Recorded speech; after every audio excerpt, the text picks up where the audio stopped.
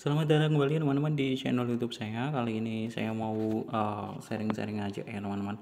Jadi di sini uh, kemarin ada yang tanya ya untuk uh, WD via Binance itu apakah ada fee apa enggak. Jadi uh, biasanya saya itu WD via Binance itu ada beberapa metode yang biasanya saya pakai dan saya nggak uh, kena fee sama sekali ya. Nah, jadi uh, saya kasih info aja ya teman-teman. Jadi di sini teman-teman itu bisa klik aja dompet, kemudian di sini ya ada menunya transfer. Jadi di sini teman-teman itu transfer dulu ya uh, dompet spot ke pendanaan ya. Misalnya seperti ini.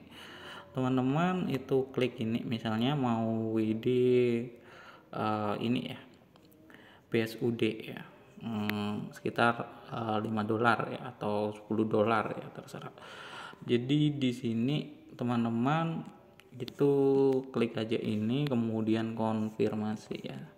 Konfirmasi. Nah nanti itu masuk ke bena uh, kebenanaan ya. Di sini aku pakai bahasa Indonesia jadi mungkin lebih mudah ya. Dan di sini teman-teman bisa lihat ya untuk balance-nya ya. Balance ini adalah balance di benanaan ya. Ini beda ya teman-teman. Ini yang saya gunakan untuk WD dan di sini yang PUSUD itu teman-teman uh, yang tadi kita WD ya ya dari spot ya dan di sini teman-teman ada namanya P2P ya di sini teman-teman ada P2P teman-teman klik aja Nah, di sini teman-teman itu pilih yang P2P di sini ya. Nah, biasanya kan uh, kalau masih belum uh, terdaftar atau masih mula itu biasanya kadang ininya itu enggak P2P. Dan di sini juga teman-teman bisa lihat ada beli, ada jual ya di sini. Nah, di sini ada beli dan jual teman-teman itu pilih misalnya teman-teman kan mau WD ya. WD itu uh, klik aja jual. Uh, di sini ada USDT BTC BSUD dan lain sebagainya ya. Di sini misalnya teman-teman itu ada nominal. Di sini limitnya uh, 20 juta ya minimal untuk uh, teman-teman bisa pilih aja untuk filter. Kalau saya itu biasanya pakai dana Nah, teman-teman klik aja. Ya kenapa uh, nggak uh, eh, BCA atau lain sebagainya?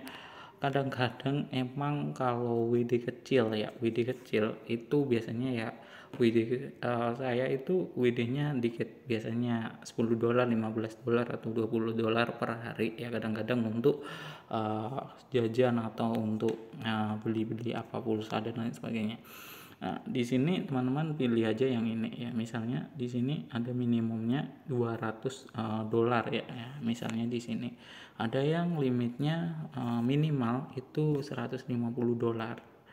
Uh, 150 ribu ya, sorry. Uh, 150 ribu ya.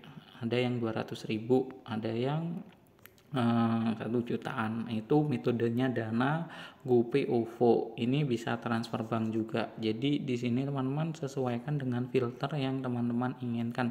Ada Shopee Pay juga. Jadi di sini uh, banyak ya. Nah, teman-teman itu kayak misalnya nih teman-teman ingin uh, coba ya. Di sini teman-teman itu klik aja uh, jual ya kemudian di sini teman-teman uh, fiatnya ya. Fiatnya di sini adalah USDT ya.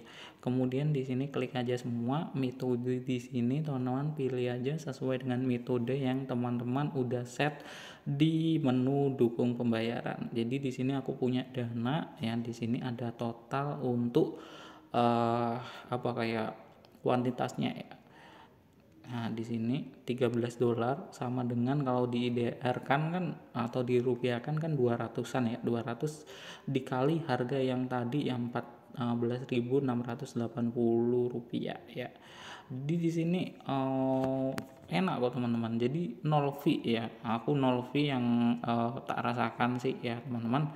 Itu untuk uh, caranya teman-teman bisa lihat di story saya ya. Di sini aku kemarin WD ya. Jadi eh, teman-teman bisa lihat di history di sini. Aku uh, tiap hari WD ya di sini kemarin tanggal uh, berapa ini? Tanggal 20 ya. Tanggal 20 sekarang tanggal 21 ya. Tanggal 21 kemarin tanggal 20 uh, Mei ya. Mei itu aku WD 400 ribu terus tanggal 18 uh, sekitar 160-an jadi terus tanggal 17 uh, 200 uh, 234 jadi tiap hari aku WD dan teman-teman bisa lihat di sini detailnya. Ya di sini aku WD 30 dolaran.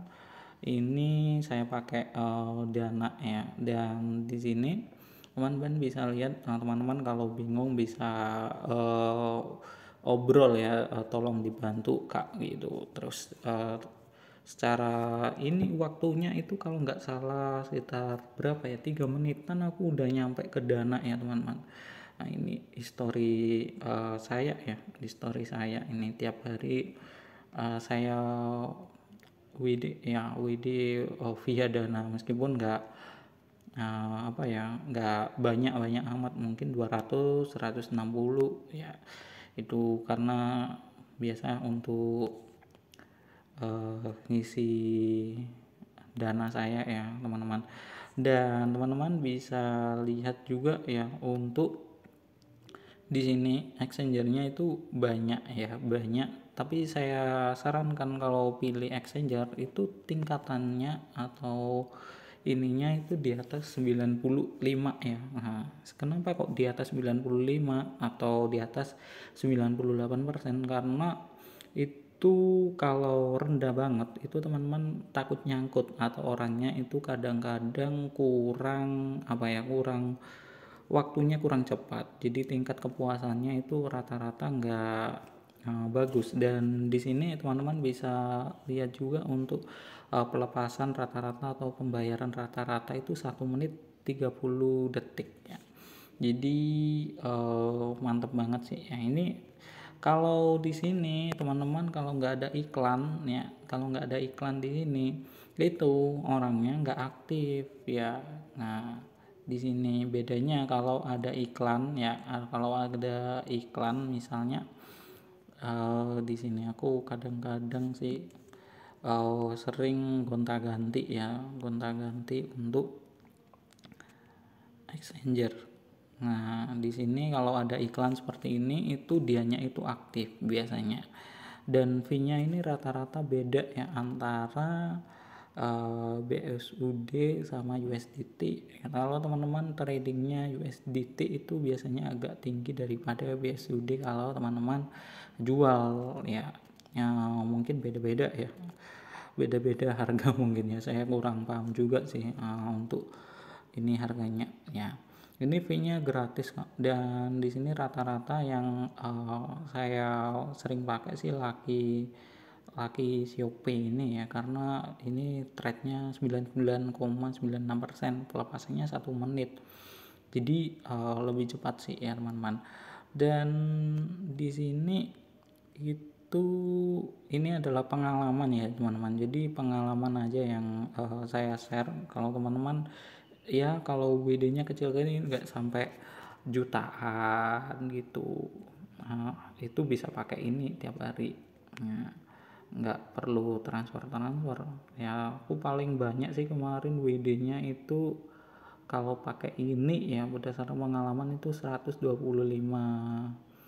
dolaran ya. 125 dolaran itu satu juta 800an nah, ini pakai uh, metode dana ya. Ini aman kok ya teman-teman satu menit itu udah nyampe. Ya ini paling banyak ya. Uh, tak cicil ya biasanya kalau aku WD nggak langsung uh, 100 dolar 200 dolar. Kadang-kadang ya per WD itu 50, 20, 30 gitu. Ya. Jadi takut nyangkut juga ya karena di sini kadang-kadang uh, namanya dunia online kadang-kadang tan takut ya mungkin tak WD itu kecil-kecil aja supaya nggak nyangkut ya teman-teman dan gitu aja teman-teman untuk video kali ini semoga bermanfaat. Bila ada pertanyaan silahkan bertanya di kolom deskripsi dan sampai jumpa di video berikutnya.